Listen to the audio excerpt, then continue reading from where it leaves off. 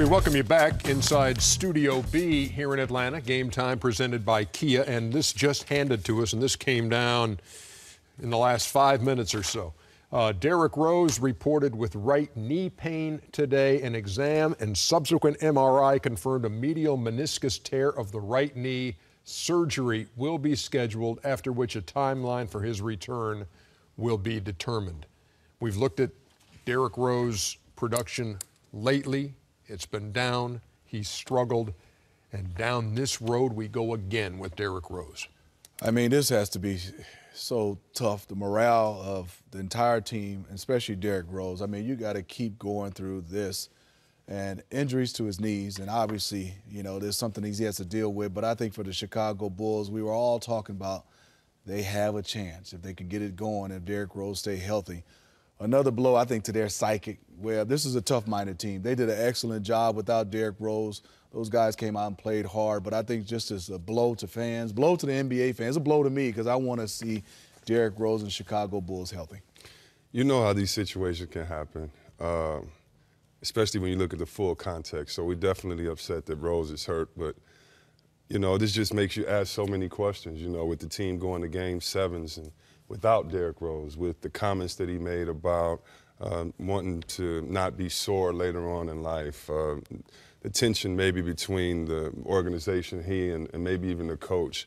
You know, I look at things in the full context of it. And uh, even if he gets well this year, you wonder what's going to happen. You know, you have to re sign other players. Butler, other guys have emerged. Just just uh, such a sad situation. Hopefully he gets back, and, and, as Ernie said, we don't know the extent of it, so not saying the season is over, but in the full context, Ernie, it's a lot of stuff going on now. Yeah, especially the way the season began, every time Derrick Rose miss, took a misstep, every time he hit the floor, it was everybody holding their breath. How's he going to be? He get back up, ready to go. And it was, it was almost like we had moved past this concern stage, and now – here it hits you with Chicago sitting at 36 and 21, a game on the loss side in front of the uh, the Cleveland Cavaliers, and and so they're in the three and four and battling for the Central Division crown. So we'll see what the uh, what the fallout is from this and how Tom Thibodeau's uh, troops can respond to this. Mm-hmm. And, and that's one thing we've seen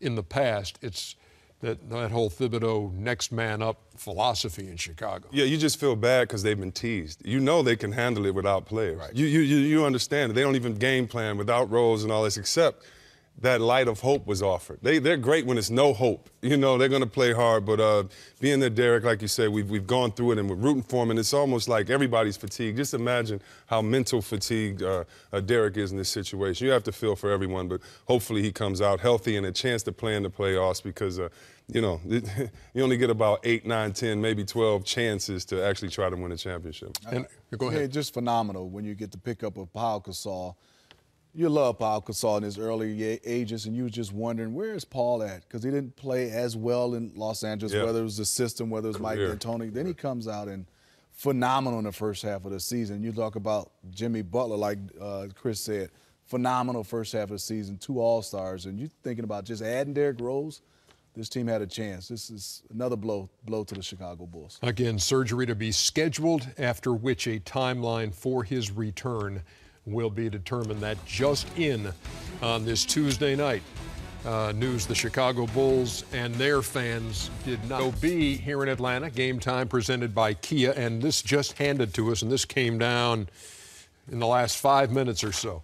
Uh, Derrick Rose reported with right knee pain today. An exam and subsequent MRI confirmed a medial meniscus tear of the right knee. Surgery will be scheduled, after which a timeline for his return will be determined. We've looked at Derrick Rose production lately. It's been down. He's struggled. And down this road we go again with Derrick Rose.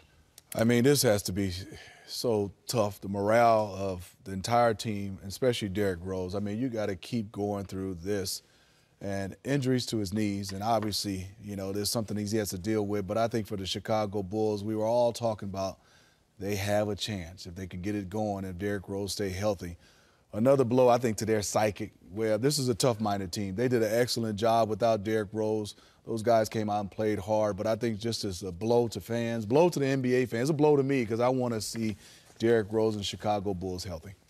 You know how these situations can happen, uh, especially when you look at the full context. So we're definitely upset that Rose is hurt, but you know this just makes you ask so many questions. You know, with the team going to Game Sevens and without Derrick Rose, with the comments that he made about uh, wanting to not be sore later on in life, uh, the tension maybe between. They could get it going if Derrick Rose stay healthy.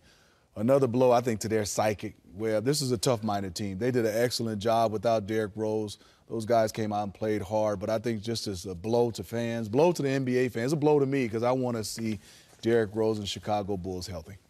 You know how these situations can happen, uh, especially when you look at the full context. So we're definitely upset that Rose is hurt, but you know this just makes you ask so many questions. You know, with the team going to Game Sevens and without Derrick Rose, with the comments that he made about uh, wanting to not be sore later on in life, uh, the tension maybe between the organization, he, and, and, maybe even the coach. You know, I look at things in the full context of it, and uh, even if he gets well this year, you wonder what's going to happen. You know, you have to re-sign other players. Butler, other guys have emerged. Just just uh, such a sad situation. Hopefully he gets back, and, and, as Ernie said, we don't know the extent of it, so not saying the season is over, but in the full context, Ernie, it's a lot of stuff going on now. Yeah, especially the way the season began, every time Derrick Rose miss, took a misstep, every time he hit the floor, it was everybody holding their breath. How's he going to be? He get back up, ready to go. And it was, it was almost like we had moved past this concern stage, and now – here it hits you with Chicago sitting at 36 and 21, a game on the loss side in front of the uh, the Cleveland Cavaliers, and and so they're in the three and four and battling.